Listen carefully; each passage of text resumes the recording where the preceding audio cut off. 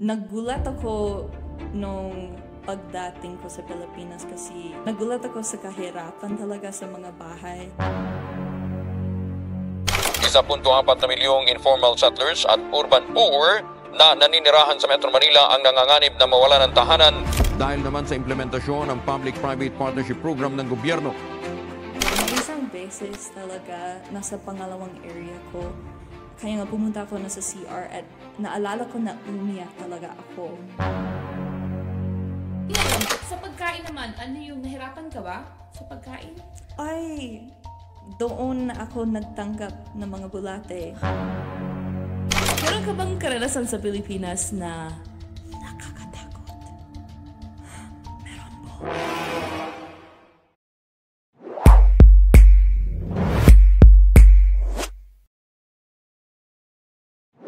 Welcome po sa ating podcast, ang Jeepney School Podcast. At ang ating guest ngayon ay ang ating kaibigan. Ako po si Gab Gab. Gab Gab or Gabi lang. Kahit ano ay pwede. Gabi, parang gabi. Parang gabi. Maganda, Maganda gabi. to sa gabi. Ikaw ay anghel na bumabasa Sa gabi lang. Oo. Nasa gabi lang maganda ako. Hindi. Sa, nasa gabi lang. Buong araw. Buong araw, buong gabi. 24, 7, maganda ka. Sige. So ngayon, sa araw na ito, tatanungin natin si Gabby tungkol sa kanyang karanasan sa Pilipinas dahil tumira siya sa Pilipinas ng gano'ng katagal? Ah, mga siyam na buwan lang. Siyam na buwan sa Pilipinas pero magaling siyang magtagalog, di ba? Ang galing-galing niya. Pwede ka bang magpakilala sa atin? Opo. Ako, ako po si Gab, Gabi. At taga Utah po ako, taga dito. Nasa Utah po kami ngayon. Um, mga dalawang put na apat na taong gulang ako ngayon. At nag-graduate ako noong Disyembre at sa ngayon nagtatrabaho lang ako sa nasa Lehigh, nasa Utah, sa isang kum- kumpanya na tinatawag na Pattern. At ako po ay isang HR generalist doon. Wow. Opo. Ang ganda ng pangalan ng ng trabaho mo. Oo, Pattern. Pattern. HR generalist. HR generalist. Wow. Lahat ng mga Lahat na. ginagawa. Overall na. Oo. diba? Lahat ng HR ay ginagawa ko. Sige. So, um, gusto kong itanong kung nung nalaman mong pupunta ka sa Pilipinas, ano yung naisip mo? Like, ano yung mga tanong mo sa sarili mo? Ano yung paghahanda na ginawa mo? Oo, syempre, noong tinawag ako sa Pilipinas, nung, kasi naalala ko mismo, yung sandali na pinasa ko, pupunta ako sa Pilipinas, yung chan ko ay masakit kasi hindi ko pa alam kung saan ako pupunta. At nung binasa ko Pilipinas mismo, um, akala ko Tagalog, di ba ay tawag sa Tagalog. Tagalog. Uh, tag, tag, Tagalog.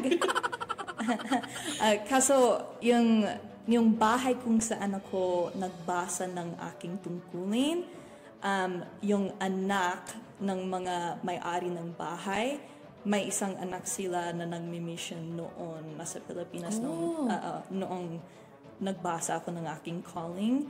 Um, kaya nga, familiar ako noon sa Pilipinas. Um, at may mga ako may mga nakita akong picture nasa email galing sa kaibigan na iyan. Um, so ano excited naman ako noon na pumunta sa Pilipinas pero wala akong naasahan noon kasi di pa hindi ko pa alam kung anong kung kumusta yung Pilipinas, di ba? Oo. So, pero, so kumbaga, yung kaibigan mo na nasa Pilipinas, tinulungan ka niyang maghanda para sa Pilipinas. Ano yung mga sinabi niya? Um, sabi niya maghanda para sa ulan. Ulan? Kasi, oo, kasi mabasa talaga daw. Um, sabi din niya maghanda para sa kabaitan ng mga tao. At totoo talaga yan kasi mababait talaga yung, yung tao na sa Pilipinas. Palaging mapagbigay talaga sila. Palagi silang nagbibigay ng pagkain sa kahit ano. Um, so, totoo talaga ang mga sinabi niya. At ano, ipinadala din niya ang mga picture, di ba, ng mga hayop nasa ulan, at yung mga baka, shemps. So, diba? So, yun yung ex- expectations mo sa Pilipinas. oo. At nangyari siya nung nasa Pilipinas ka. Ah, Siyempre yung ulan, oo, maraming ulan talaga. Um, kaso, nagulat ako nung pagdating ko sa Pilipinas kasi di ko pa alam um, kung hindi ko pa ako alam yung kultura talaga at yung nagulat ako sa kahirapan talaga sa mga bahay um, kasi malalapit talaga yung mga ba- yung mga bahay sa isa-isa. Nasa Manila talaga um, busy talaga yung mga kalsada maraming kotse walang mga batas talaga sa sa um, na. pagmamaneho Walang batas, O- bahala na. Opo.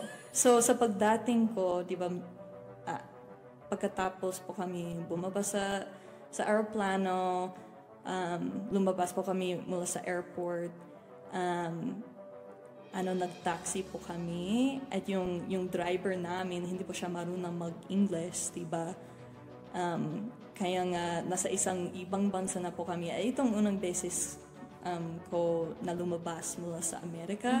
Kaya nga nagulat ako na, ay, hindi siya marunong mag-English, di ba? Kahit taxi driver taxi driver siya um, mula sa airport at baka maraming dayuhan. So, ayun. Na, medyo nagulat ka talaga. Aha. Kahit naman siguro ako, kung yun yung unang, yun yung first time mong lumabas sa Estados Unidos, Aha. tapos yun yung, yung mai-experience mo, mahi, para sa akin siguro mahirapan ako. Nahirapan ka ba? Ah, o- opo. Mahirapan ka. Nahirapan ako na umalis mula sa aking pamilya, di ba? Kasi unang beses kong umalis mula sa pamilya ko. At syempre, bata pa naman ako. Oo. Di ba? Ilang taon ka no, nung pumunta ka? Um, labin... Siyam? Oo. Labin siya. Oo, Opo. labin siya. At bata, bata talaga yun. Batang bata ka Opo. pa. Pero ang tapang mo, ang galing mo ha. Salamat po. Sige. So ngayon gusto kong malaman saan ka tumira doon sa Pilipinas. Ano yung mga lugar na tinirahan mo? Opo. So, para sa akin, pumunta ako mismo sa ah, Manila MTC. Hindi ako pumunta sa Provo MTC. Kaya nga, nasa Manila po ako mga um, anim na linggo hanggang pumunta ako sa Urdaneta Mission or nasa Pangasinan. Nasa Pangasinan yung, yung mission ko. Eh, may dalawa lang akong ah, area ah, nasa San Carlos tsaka Alaminos. So, malapit sa Hundred Islands. Opo, pumunta ako sa Hundred Islands. Ang Talaga, ganda social! Alam mo, gustong gusto kong pumunta doon. Hindi Talaga? ko, na, na, taga-Pilipinas ako, hindi pa ako nakakapunta talaga? doon. Ang maganda talaga doon. At Shemps, hindi po kami nagbarka. Di ba? Kasi dapat nasa, ano, Oo. Pero nakita mo siya, yung Opo. Hundred Islands. oo, yung estatwa, di ba, ni Jesu Cristo. Maganda. Ang galing, ang galing naman. Hindi ko pa ako nakakapunta doon.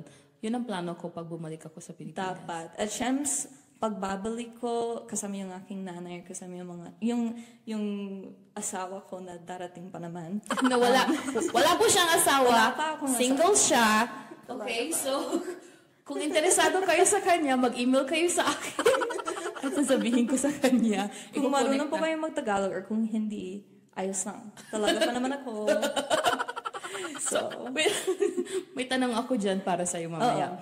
So, ngayon po tumira ka sa Alaminos at sa San Carlos. aha. Alin Dalawa yung pinaka-paborito mong lugar? Mahirap yan nasagutin kasi yung San Carlos, di ba talagang bayan siya?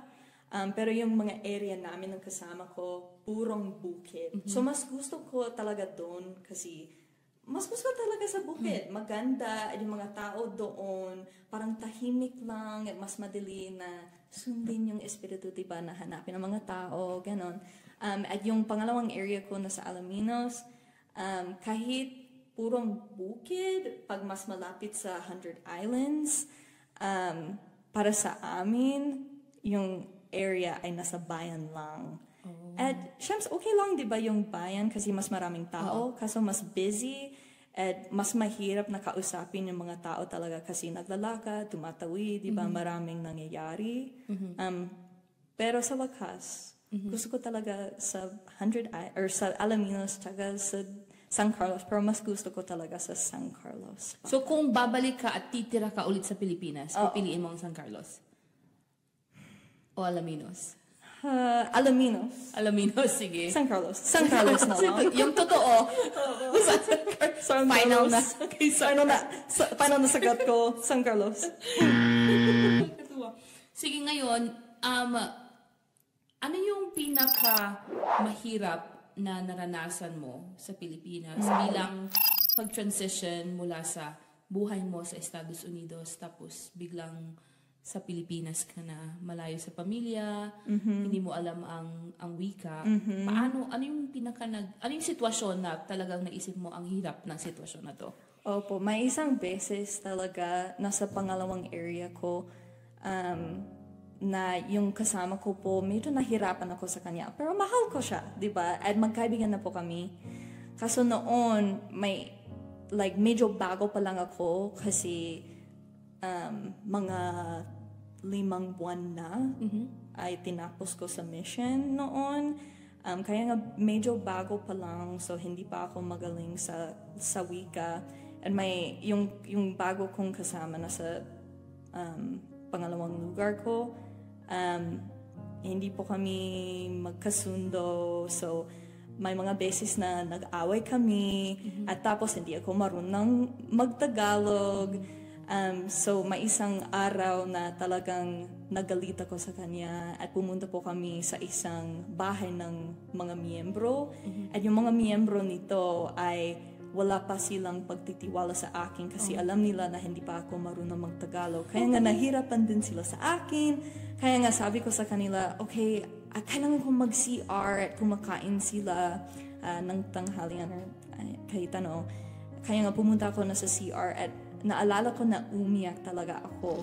Kasi naisip ko, ay, miss ko talaga ang pamilya ko, yung kasama ko, ayaw niya sa akin, ayaw ko rin sa kanya, at yung pamilya nito, wala silang pagtitiwala sa akin. So, yan yung sandali talaga na lagi kong naalala na ay, um, nag, nagtagumpay na ako, di ba? At, um, na- nag, nagpagtais talaga ako sa, sa mga um, karanasan na iyan. Na kahit hindi pa ako marunong magtagalog, di ba, sa um, panahon na iyan, ah, sa mga panahon na darating, dumating na yung mga pinakamagandang karanasan kung saan nagtagalog na po ako, di ba? At yung kasama ko, minahal ko na siya. So, kahit ganyan ang sandali na iyan, um, nakita ko, Siyempre, yung kami ng Diyos, di ba? Pero nakita ko na dahan-dahan lang ah, dumating na yung mga pagtatagumpay. So, ayun. At mahirap talaga yun. Mm-hmm. Hindi mo alam, hindi mo kayang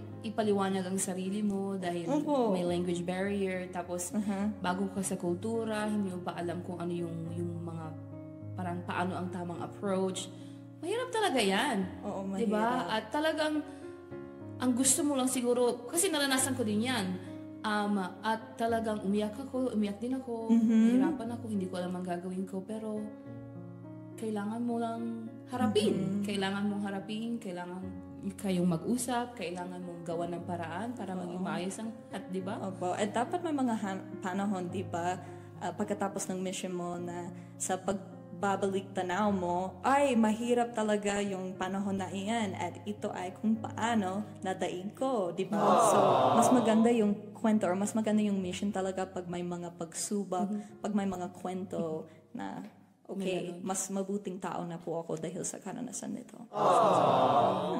Ganda. Ay, salamat. Sige. Anong salitang Tagalog ang palagi mong ginagamit? Shemps. Sino? Kanino mo yan natutunan? Ano? Kanino mo natutu- natutunan? Sino ang Um, nag-impluensya sa'yo? Siguro yung unang trainer ko, di ba, si um, Shante. Siya yung, siya yung nagturo sa akin. Palagi yung sinasabing Shems. Oo. Nakakatuwa. At yan yung talagang simula ng aking panahon sa Pilipinas. Kaya nga, di ba, kung nasa simula ng pagtutu pagtututo mo, Shemps sa mga susunod, gagamitin mo. Yeah, Kagaya tama. dito, Shemps. Tsaka lahat, halos lahat ng mga salitang Tagalog, parang sinisimplify na, Shems. At meron pang ibang mga salita na parang similar to that, like, Oo. sh- Di ba, pag may pagkamali, ano ba yan? Palagi akong ginagamit. Ano ba yan? Ano ba yan? Lalong-lalo kapag nagmamaneho ako. Dito na sa Utah, yung mga driver ay mapangani talaga yung pagdadrive dito. Kaya nga palagi akong sinasabi, ano ba yan? Ano Anong ba yan?" ginagawa mo? Di ba? Totoo. Palagi ko yung ginagamit palagi, araw-araw. Dahil, Mm. ma- dahil sa mga bata. Sige. Sige ngayon, sa pagkain naman, ano yung nahirapan ka ba sa pagkain? Kasi 'di ba, hindi ka pa nakakakain ng pagkain Pilipino nung nandito ka tapos pumunta ka sa Pilipinas. Pagkain Ah. Pilipino. Hindi, hindi mahirap yung lasa, di ba, sa akin. Um, nag, naalala ko po na sa, sa talagang simula ng aking pag stay na sa Pilipinas, nagustuhan ko talaga ng pagkain na sa Pilipinas. Um, pero hanggang sa dulo, may mga bulate ako na in, inilalabas ako ngayon. Nililabas. Um, at sayang naman yon Kaso, ayos lang. So nagkabulati ka Oh. dahil sa mga pagkain sa Pilipinas. Ay, wala akong mismong sandali kung saan naalala, ay, doon ako nagtanggap ng mga bulate. Oo. At parang just like in general, lang. Oh. parang si, parang lahat may parang contributing about pagkain na. Oo. Pero ayos lang kasi masarap yung lahat ng pagkain sa Pilipinas. Parang nag-suffer ka pero okay lang. Tinikman ko ang lahat. Sige.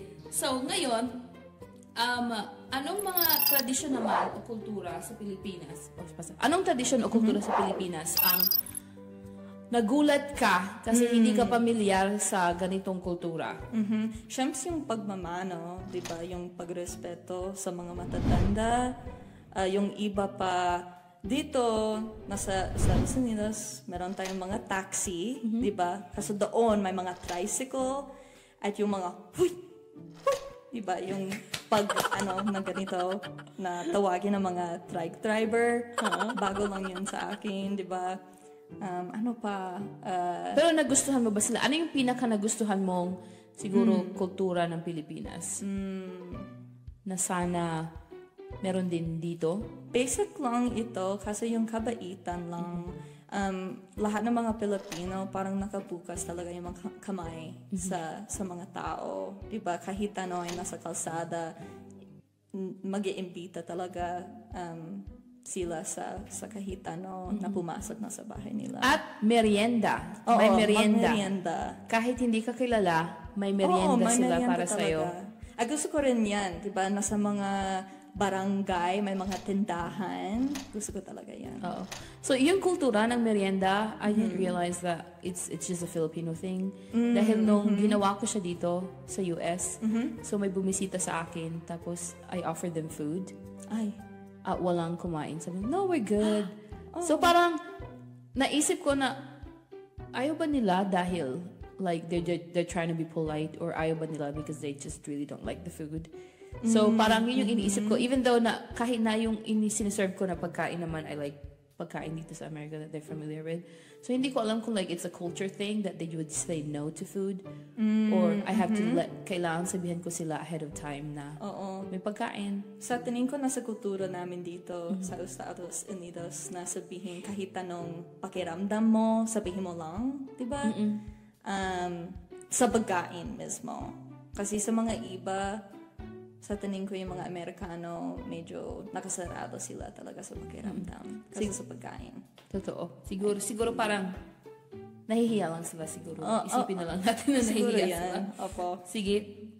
So ngayon, um, ano yung mga, paano naging, ngayon marunong ka na magtagalog? Paano Medyo. naging, magaling ka magtagalog? So paano siya naging kapag-pakinabang para sa'yo o beneficial para sa'yo na marunong ka na Oh. magtagalog? Um, noong nasa kolehiyo pa ako, marami akong bagong kakilala dahil sa Tagalog kasi yung mga ibang kaklase ko pumunta din sila sa Pilipinas, di ba? At tinanggap ko rin ang isang certificate, certificado, hindi ko alam, yan sa Tagalog. Um, at dahil doon, di ba, nasa resume ko para sabihin sa mga tao or pag gusto ko pong maghanap buhay, di ba?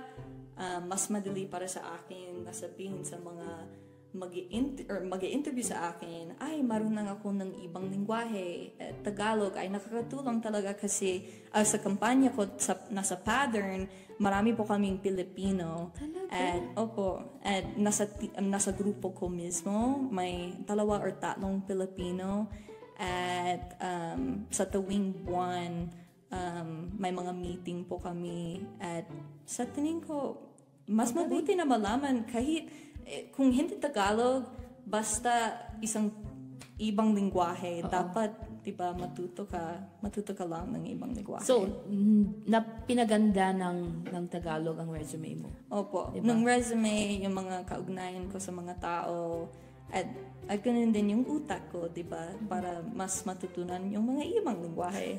Meron ka bang parang karanasan na, na mali yung gamit mo sa Tagalog? Tapos na parang mali siya sa sa Pilipinas na misuse mo yung Tagalog. Ano Oo. yun? May isang mismong kwento, noong bago pa lang ako, maraming tao ay nasa isang salu-salawar party. Um, may isang nag-birthday na anak sa isang kakilala namin. At yung um, isang tao ay nagsabi sa akin, ay, um, Gab, paki ipaliwanag ang patungkol sa pamilya mo. At sabi ko, ay, sige. Pero bago pa lang ako, so yung alam ko ay nanay, tatay, mabait, maganda. Kaya nga, wal- wal- wala na iba akong masasabi sa kanila patungkol sa pamilya ko. At sa halip na tatay, sabi ko, tae. At sabi ko, ay, ang bait talaga ng tae ko. At ay, yung lahat ng mga mukha nila parang ganito.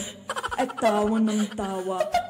At yung kasama ko, sabi niya, ay, isusulat ko yon kasi yan yung pinaka nakat- nakakatawang sinabi mo hanggang ngayon. Wait, tatay ko. Nakakahiya. Yan yung Good for sandali. you. Ay, salamat. Yeah. Yung tae ko is so mabait. Sige, so meron ka bang karanasan sa Pilipinas? Maraming kas- karanasan.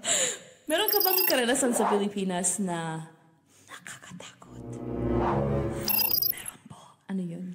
Oo, um, may isang beses, kami ng kasama ko, pumunta po kami sa isang lugar. Palagi po namin pinuntahan. Kaso sa nakaraan na linggo, may, nakila, may bago na po kaming nak- nakilala. At matanda siya, babae siya.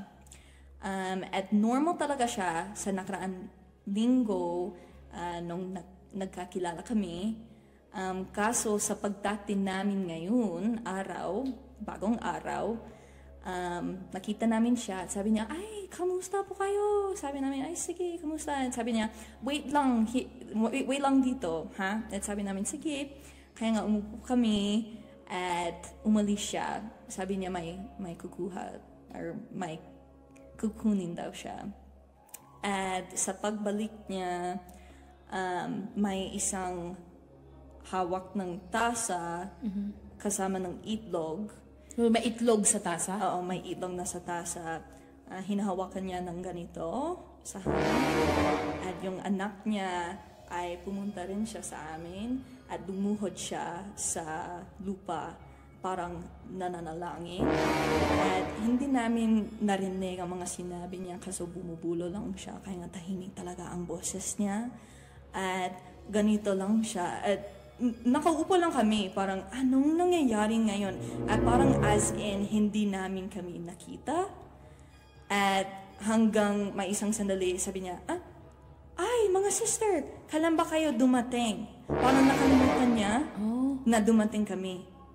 At pagkatapos doon, sabi namin, ay, pasensya na kayo, may pupuntahan pala kami ngayon. At umalis lang kami, eh, hindi namin pinalikan. Oh, nakakat... Iba parang naman, iba, bakit may iba. itlog? Bakit may itlog? Hindi ko din alam kasi hindi ko hindi, hindi ko yan ginawa sa Pilipinas. Oo, hindi ko alam. And uh, sa wakas, yung, yung anak niya parang tumayo at umalis. Parang may ritual talaga. Hindi ko alam. Ah, pero di ba dahil may namatay sa kapamilya nila? Siguro, oo, sa nakaraan na linggo, sabi niya sa amin, may namatay. Oh, siguro Pero- baka baka siguro parang Hindi ko alam kung ritual nila. Oh, hindi ko alam.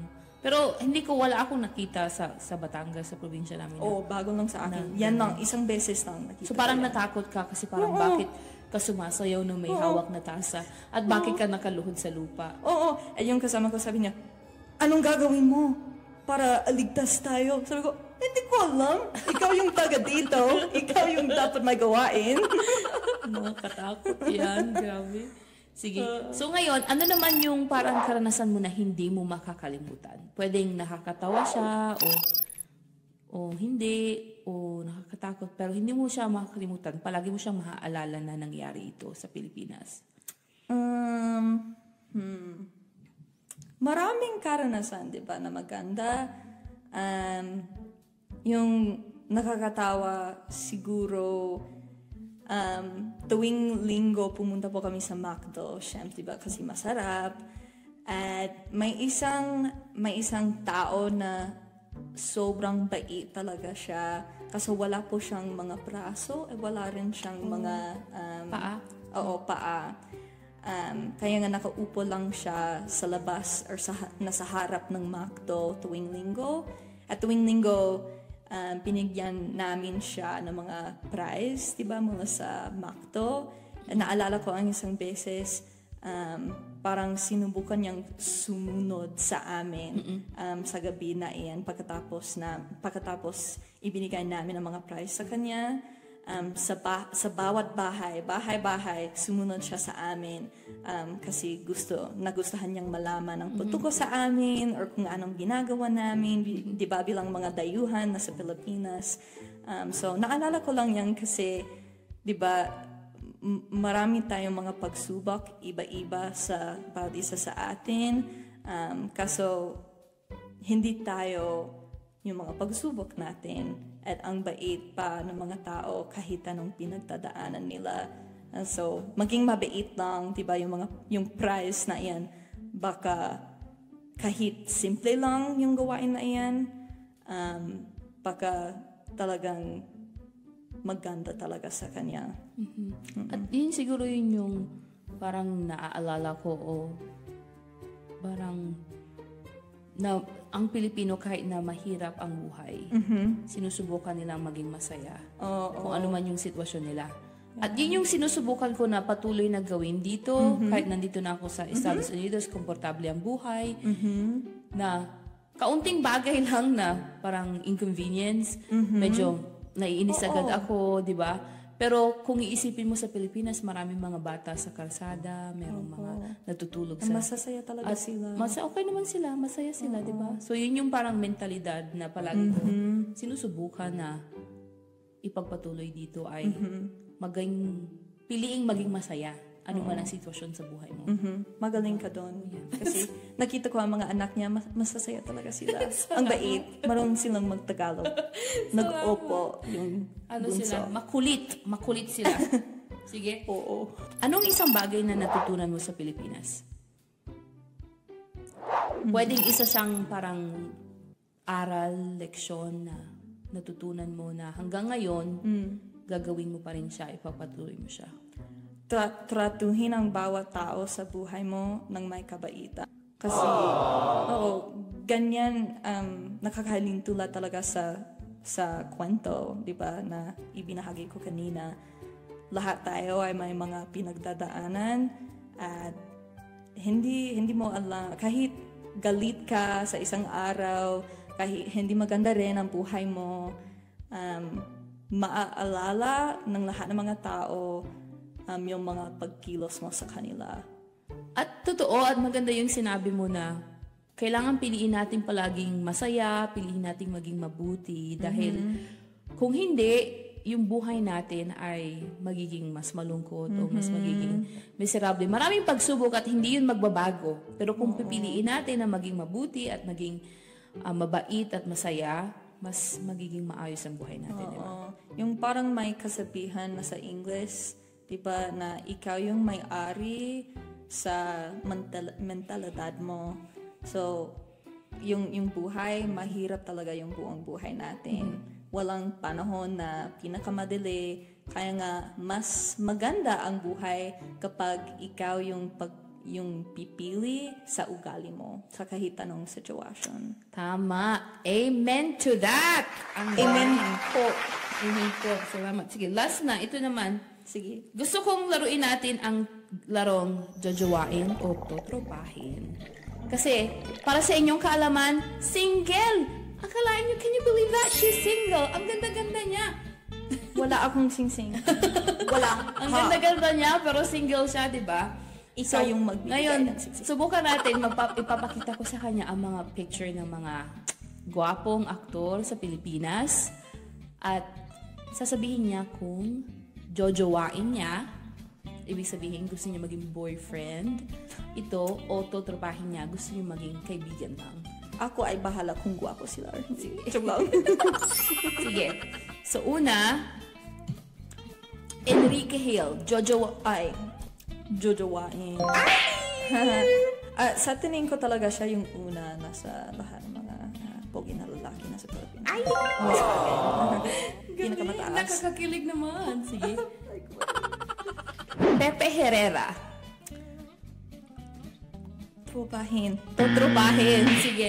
Kasi nakakatawa siya, so he's he's a fun person to be around with. Okay. Oh, Totropahin. totropahin. Coco Martin. Ay, anong ginagawa niya? Or sa buhay? Ah, ah, sa buhay, actor, actor siya. Ay, astig. Celebrity siya sa Pilipinas. Totropahin o jojowain? Ah, baka totropahin. Totropahin lang. Oo, totropahin lang. Sige. Paulo Avellino. Totropahin o jojowain? sa picture na yan, baka jojowain. Mm. Text, i-text ko siya. Oh, sige, sige. Text natin May siya. number ka ba sa kanya? Sian Lim. Ay, Sian Lim. Ah, Jojowain or totropahin? Jojowain. Ay! Sige. Ito naman, um, medyo parang old-timer na siya, Oo, pero he's matanda still, na. he's still like a big hit sa Pilipinas. Oh, sige. John Lloyd, jojowain o totropahin? Sasabihin ko totropahin kasi mas matanda siya kaysa sa akin. talaga. Siguro. Hindi ko alam kung Tropa, tropa John Lloyd. Ito naman, si Sam Concepcion, jojowain o totropahin? totropahin. Bakit? Mag- maganda yung boses niya. Isa-serenade ka niya. Kantahin. Kakantahan ka niya. Halimbawa, example. Um, siguro ay buwan. Ay! Jojowain. ilalim. Daniel Padilla. Ay! Jojowain. Jojowain naman. Oh, single siya ngayon. Oh, oh, wait lang kasi oh, mantaya siya. Nag-cheat siya. Oo. Pero okay lang, we don't know the truth. we Oo, don't know. totoo like, yan. let's give him the benefit of the doubt, Okay. di ba? So, kung hindi mo alam yung Kung nangyari sa hindi kanila. ko alam yan, jojowain. Kaso sa ngayon, tutropahin. Kasi hindi ko na. Nagkamali ka naman. Daniel. Sige, ito naman. He's Australian, Australiano siya. James Reid, jojowain o Hmm. totropahin? Jojowain. Ang guwapo. Oo, bago siya, di ba? Sige. Sige. Ito naman, Jericho Rosales, jojowain o totropahin?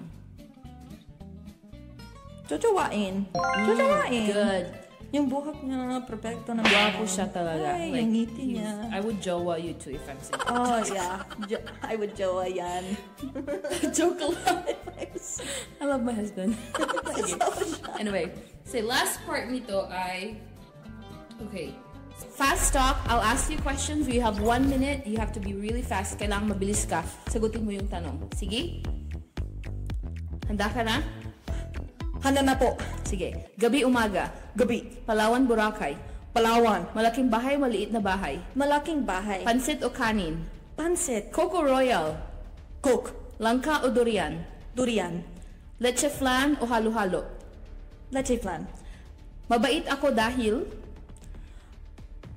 Mabait ako kasi. Masaya ako dahil Maganda ang buhay. Skyflakes o cracklings. Cracklings. Kung pagkain ka, ano ka? Chicken nugget. Kung, iin, kung inumin ka, ano ka? Strawberry lemonade. Gusto kong makadate si Harry Styles. Mahal ko ang Pilipinas dahil Mabait tala- mababait ang mga tao. taglamig o tag-init. Tag-init. Adobo o lumpia. Adobo. Nalaman ko bago. Mangga o ube. Mangga. Balot o kikiam. Hindi yung balut. Yung, yung pangalawa. Kikiam. Sige. Babalik ako sa Pilipinas sa Palawan. sa Palawan. At Kailan? Cebu. Cebu. Kailan? Sa susunod na taon sana. Oh, yay! Sana. Magaling! Fast probably Google sa akala ko lugar but time period. Sige, salamat.